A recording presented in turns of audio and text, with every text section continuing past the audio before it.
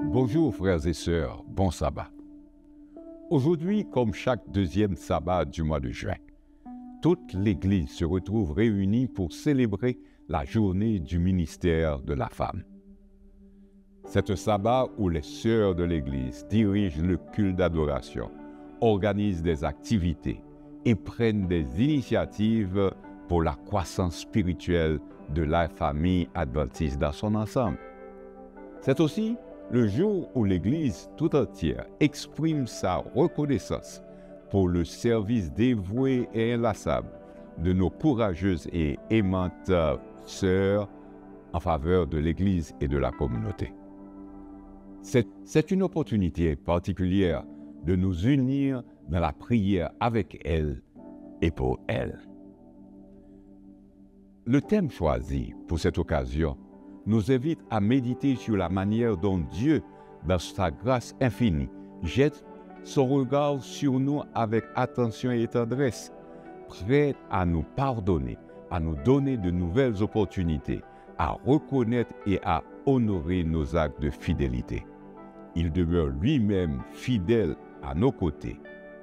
Cela ramène à la mémoire différentes histoires de la Bible comme celle relatée dans l'évangile de Jean. C'est l'histoire de la femme présentée, exposée à Jésus comme une infidèle adultère, déjà condamnée par les hommes.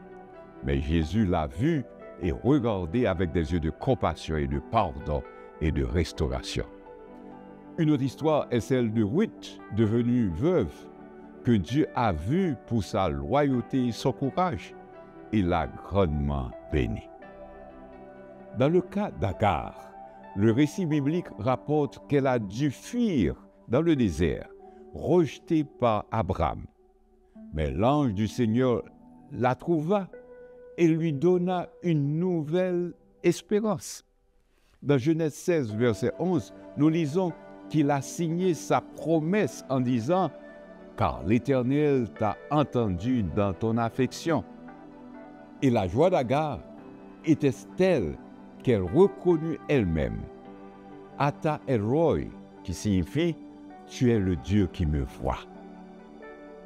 Célébrons aujourd'hui la contribution de chaque femme, chaque sœur dans notre Église et continuons à travailler ensemble, hommes et femmes de tous âges, reconnaissant que nous sommes tous vus et valorisés par notre Père céleste. Maranatha.